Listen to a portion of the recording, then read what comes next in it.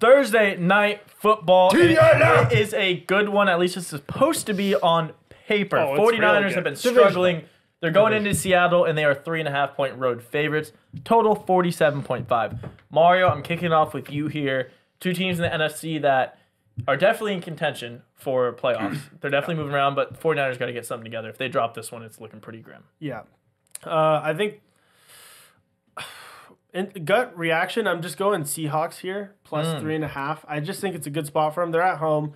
Uh, you know, I know it's a short week, but I think they bounce back from that Giants loss. I think you see That was a weird game. that was a weird game.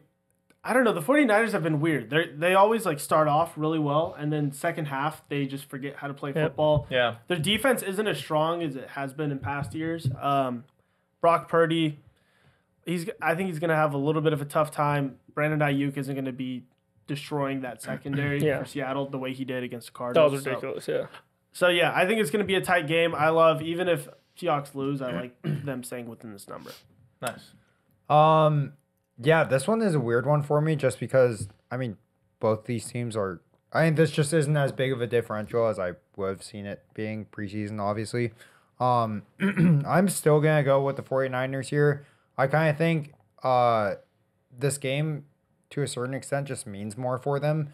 Um, I think this is one of those kind of break it games where if they lose it, it's kind of just really downhill from here um, especially because this is a divisional game, so it, it just means more for conference or for standings in general and, and everything like that. So I kind of just have more faith in Kyle Shanahan being able to coach them in a tight spot here, um, with obviously less weapons and or Christian McCaffrey and the less weapon that that is.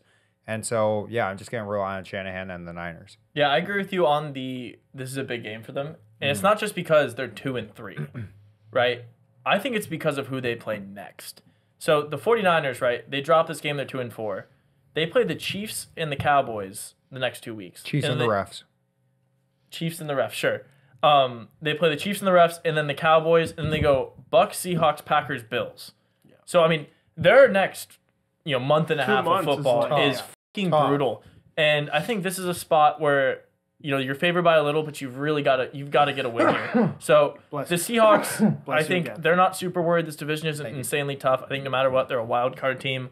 Uh, I'm going to go with this 49ers here. I'm not placing a huge bet on this. I'm not super confident in this 49ers team.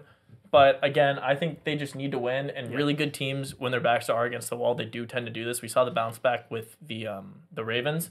And I'd compare the 49ers to a similar level of team as the Ravens. So I, I do like them winning this game. Maybe, you know, they win by a touchdown or something. But I'm, I'm going to lay the number here on the road. Yeah, I'm gonna absolutely hammer this Niners game. I think this is I see this so clearly. This is like the not even just spots or anything, just like the better team is gonna murder the other team.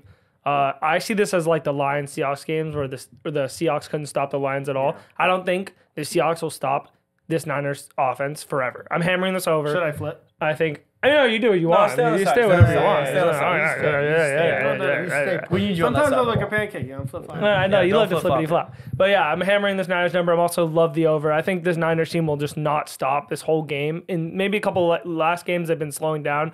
I think all the way through they'll be on fire the whole game. Seahawks defense is terrible. They might be without Riq Woolen.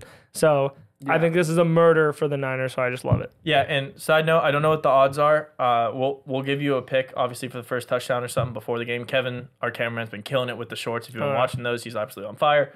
Um, I have a gut feeling. I had a vision. Brock Purdy rushing touchdowns first score of the game. That's absurd. That's got to be so. I plus think they get to the one and they do some sort of like tush push or something. Uh, just a vision. No, I love so it. I love the 49ers win and then Brock Purdy first touchdown. Right. But yeah, All right. this Why should be not? this should be an interesting Should be Thursday night game. Lock in, enjoy the football, and then tune in tomorrow for the full NFL card. Hoya. Mañana. Yeah.